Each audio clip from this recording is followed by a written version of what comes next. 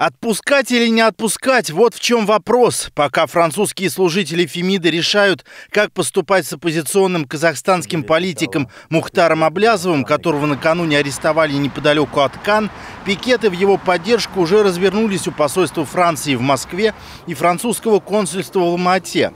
И хоть по численности они заметно разнились, но цель собравшихся была одна – выступить против возможного решения французских властей экстрадировать главного врага казахстанского диктатора Назарбаева на родину. Эффект будет. Я надеюсь, что генеральный консул проинформирует правительство Французской Республики Моя позиция – это гражданская, выразить свою точку. Бывший министр энергетики, индустрии и торговли Республики Казахстан Мухтар Аблязов возглавлял крупнейший БТА-банк.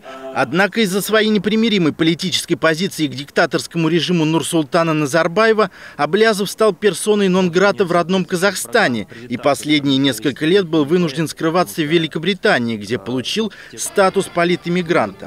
По некоторым сведениям, президент Назарбаев настолько сильно мечтает расправиться со своим главным оппонентом, что не жалеет никаких средств. По последней информации на поимку Облязова казахстанский лидер потратил 100 миллионов евро. А наши казахстанские народные ресурсы давно уже задействованы режимом Назарбаева для того, чтобы подкупать везде и всюду и всех. А в его а, значит, маниакальном таком стремлении преследовать Облязова и его, значит, окружение, соратников и уже семью. Накануне ареста произошло очень важное событие. Главы двух государств России и Казахстана общались по телефону.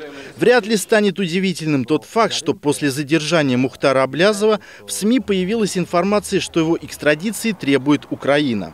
Между тем, правозащитники отмечают, что у России и Украины крайне мало шансов заполучить у Европы Мухтара Аблязова. Экстрадиция же в Казахстан и вовсе не обсуждается его запрашивают страны, э, у которых не совсем э, благополучная репутация. И у Украины, и у России очень много нареканий со стороны международных институтов в области прав человека, связанных с практикой пыток в этих странах. Поэтому я думаю, что э, Франция понимая эту ситуацию, вряд ли его выдаст по экстрадиционному запросу он вполне э, в соответствии с миграционной политикой страны может получить территориально убежище ввиду того, что, по его мнению, ему опасно возвращаться либо находиться в Великобритании.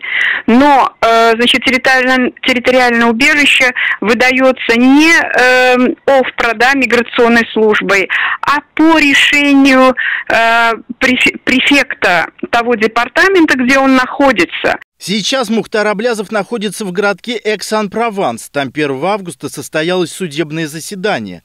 Суд Франции постановил таки оставить экс-главу БТА банка под стражей до решения о его возможной экстрадиции. Дружественная Казахстану Украина должна в 40-дневный срок предоставить все документы для его выдачи.